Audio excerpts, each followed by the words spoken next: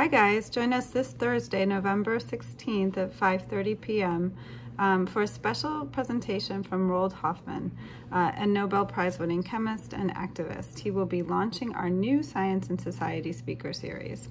Uh, then the next day, Friday, uh, November 17th, um, you can join us again for Varsity Tutors, a history of women's healthcare from 1800. Look forward to seeing you. Bye.